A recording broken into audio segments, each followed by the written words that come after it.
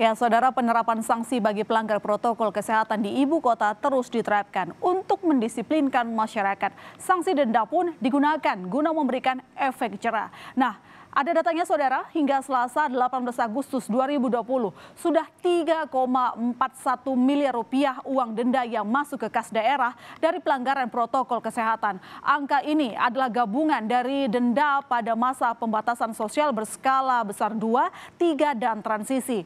Jumlahnya terus meningkat dari 25 Juli di kisaran 1 miliar. Nah kemudian saudara, awal Agustus sebesar 2,55 miliar rupiah.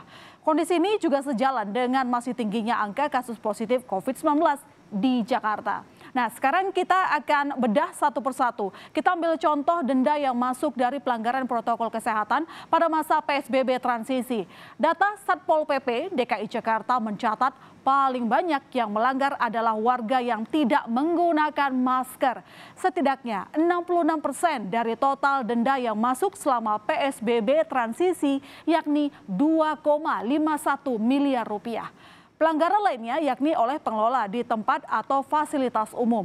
Kemudian saudara disusul oleh kegiatan sosial budaya. Sebetulnya saudara tak serta-merta denda diberlakukan. Dalam peraturan gubernur nomor 51 tahun 2020 ada bentuk sanksi kerja sosial dan teguran tertulis yang akan diberikan jika melanggar protokol kesehatan.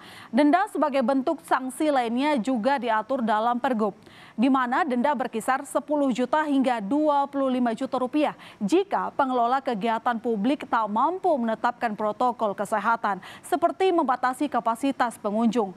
Sementara bagi warga yang tidak memakai masker di tempat publik, dendanya Rp250.000. Ada atau tanpa aturan, sudah harus menjadi kesadaran kita bersama untuk menerapkan protokol kesehatan. Tidak hanya untuk diri kita sendiri, pun bagi kesehatan bersama untuk memutus rantai penularan COVID-19.